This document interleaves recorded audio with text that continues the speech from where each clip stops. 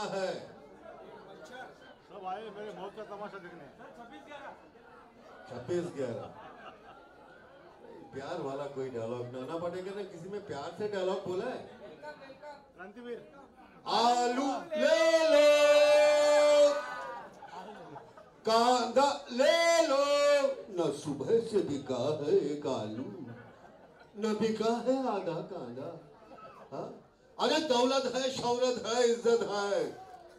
एक हम्म? लेकिन इस माहौल को देखते हुए नाना पाटेकर का फ़िल्म वजूद जिसने देखी होगी वो डायलॉग और ध्यान से सुनेंगे तो ये डायलॉग बहुत अच्छा लगेगा। वो माधुरी दीक्षित के लिए बोलते कृष्णा बोलू? यस प्रिपेयर करना। देखो कितना फील से उन्होंने इस डायलॉग को बोला। कैसे बताऊँ मैं तुम्हें कि तुम मेरे लिए कौन हो?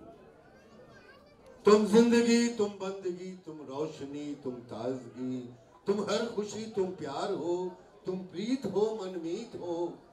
आँखों में तुम, आहों में तुम, सांसों में तुम, सपनों में तुम तुम हो मेरी हर बात में, तुम हो मेरे दिन रात में।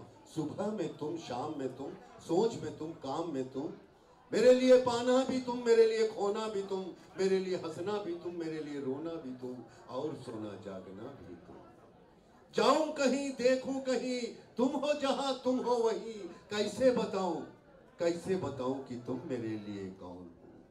ये जो तुम्हारा रूप है, ज़िंदगी की धूप है, चंदन से तरसा है बदन, जिसमें बहती है गगन।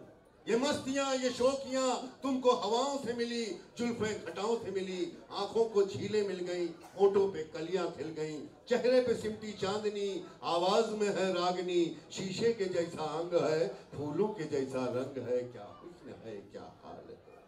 ये जिस्म की रंगीनियाँ जैसे हज़ारों तितलियाँ, आंचल की परछाइयाँ की गुलाइयाँ, ये नगरियाँ हैं ख्वाब की, कैसे बताऊँ? हालत दिले बेताब की। कैसे बताऊँ कि तुम मेरे लिए कौन हो? धर्म हो, ईमान हो, इबादत हो, चाहत हो, तुम ही मेरा अरमान हो। देखता हूँ हर पल जिसे वही तुम तस्वीर हो। तुम ही नज़ारा हो मेरा, तुम ही सितारा हो मेरा। यूँ ध्यान में मेरे हो तुम, जैसे मुझे घेरे हो तुम। पूरब में तुम, पश्चिम में तुम, उत्तर में तुम, दक्षिण में तुम। हर पल, हर क्षण में तुम। मेरे लिए रास्ता भी तुम, मेरे लिए मंजिल भी तुम। मेरे लिए सागर भी तुम, मेरे लिए साहिल भी तुम।